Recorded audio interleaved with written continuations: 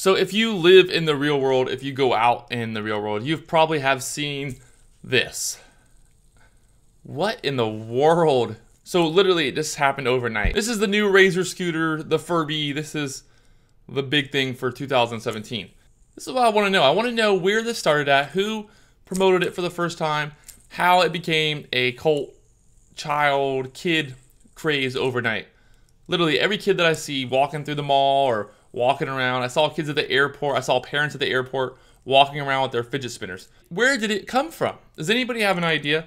I'm trying to trace root virus, the root of I was walking through the mall the other day and there was a kiosk in the middle of the mall and all they sold was fidget spinners. Literally just popped up. It can't be more than a week old and all they sell is fidget spinners. The money that that kiosk is making has to be just insane because you can buy these off of Alibaba for a dollar, maybe a little bit less if you buy a huge bulk of them.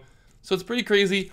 Looking at this, what in the world? I just can't figure it out. Are any of you guys using fidget spinners? Anybody messing around with these things? I see ones online for like 40, 50 bucks for the high-end ones.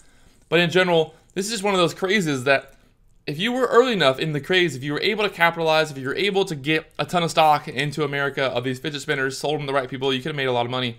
And I'm kind of wondering how it all began. I want to know the exact kind of root, who promoted them first. I know these have been around for a while, but why all of a sudden did they take off? If you have the answers, leave a comment below. If you're also wondering the same question I am, leave that comment as well. If you're uh, a huge spinner fanatic, maybe you uh, tell me some more about it. I don't get. It. I mean, I get, I get kind of the idea. It's, you spin it, it sits here and it just kind of spins and spins and spins, and I could probably just spin it all day. It's something to do when I'm bored. But I, I don't know about the next craze. I don't know how or why this is the craze that it's going on right now. That's kind of one of the things. Trying to figure out the overall market, trying to capitalize on the next big thing. What's the next big thing after spinners? I mean, this thing is this is nothing. This is this is a gold mine if you were smart in business. If you had the channels to get this out, if you bought a bunch of spinners beginning of the year, if you got them into America, imported them, and then were able to sell them through different shops, hobby shops, all that kind of stuff, literally you'd be sitting on a gold mine because these things are blowing up. You cannot keep them in stock. You go into Walgreens, they have they have them sitting there next to the cash register, and they're always empty. They just sell out instantly. So it's pretty crazy.